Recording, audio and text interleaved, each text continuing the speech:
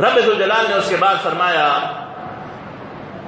اما يبلغن عندك الكبر احدهما او كلاهما کہ یہ والدین دونوں یا دو میں سے کوئی ایک تمہاری اپنی زندگی میں، تمہاری اپنی سنگت میں، تمہارے اپنے پاس، اپنے بڑھاپے کو پہنچ جائے، فلا تق الحما اف۔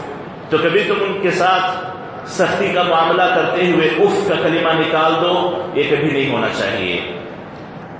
فلا تق الحما اف اللہ تعالیٰ نے یہاں پر جرم استعمال کیا ہوا ہے اف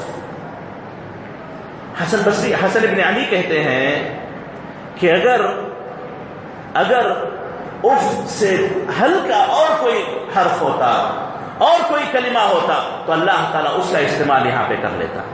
ڈانٹنا، زور سے بولنا، پلٹ کے بولنا، یا ناؤز باللہ اپنے والدین پر آواز کو بلند کرنا یا اپنے والدین پر ناؤز باللہ سخت نگاہ سے دیکھنا، یا اسی طریقے سے والدین کے ساتھ بدسلوکی کرنا، یا ناؤز باللہ ان پر ہاتھ اٹھانا، یہ تمام بڑی چیزیں ہیں۔ اللہ تعالیٰ نے سب سے ادنا، سب سے معمولی، سب سے کم چیز کا تذکرہ کرتے ہوئے کہا کہ فلا تق اللہ اف۔ کبھی تم اف کا لفظ نہ کہنا۔ اف کیا ہے؟ اف یہ زبان سے ایک منہ سے نکلنے والی ہوا ہے۔ کہ جب انسان کسی چیز کو ناپسند کرتا ہے تو کہتا ہے یہ کیا ہوگا لفظ اف زبان سے ناراضگی کے ساتھ یہ آواز کا نکلنا، منہ سے آواز کا نکلنا، یہ اللہ کو ناپسند ہے۔ یہ اللہ کو ناپسند ہے کہ بندہ اس طریقے سے اپنی زبان سے آواز نکالے۔ مولفین مفسرین لکھتے ہیں کہ اگر کوئی آدمی اپنی والدین کو تیز نگاہ سے دیکھے یہ بھی ان کی نافرمانی ہے۔ گھور کے دیکھنا والدین کو۔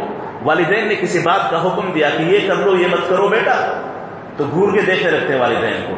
یہ بھی بڑی نافرمانی ہے۔ اس سے کہیں بڑھ کر ہے کہ والدین کو سختی سے دیکھا جائے، سخت نگاہوں سے ان کی طرف دیکھا جائے۔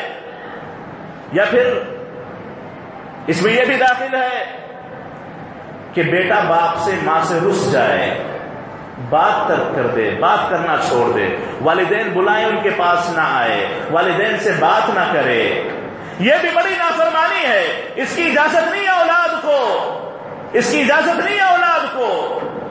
حسن سلوک کا حکم دیا گیا ہے اور کہنے سے منع کیا گیا۔